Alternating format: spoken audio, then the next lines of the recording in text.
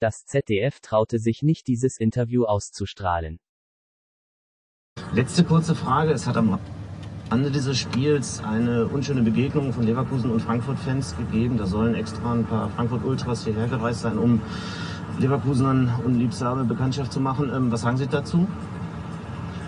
Ja, die haben sich, die haben sich wahrscheinlich ausgeredet und haben sich halt mal ein bisschen gekloppt. Ist ja für das, dass jetzt äh, so lange kein Fußball war und die, die Möglichkeit nicht oft, aber wenn es beide, beide gewollt haben, dann ist es ja, ist es ja okay. Wenn es beide wollen, dann ist es okay. Ja, warum nicht? Ja, passiert ja öfter, gehört auch irgendwie zum Fußball, oder? Ist ja, ist auch ihr könnt wieder über was berichten, die haben Spaß beim, beim Kämpfen. Wir müssen Interviews dazu beantworten und jeder, jeder hat was davon. Ist ja nichts nichts Schlimmes. Alles klar.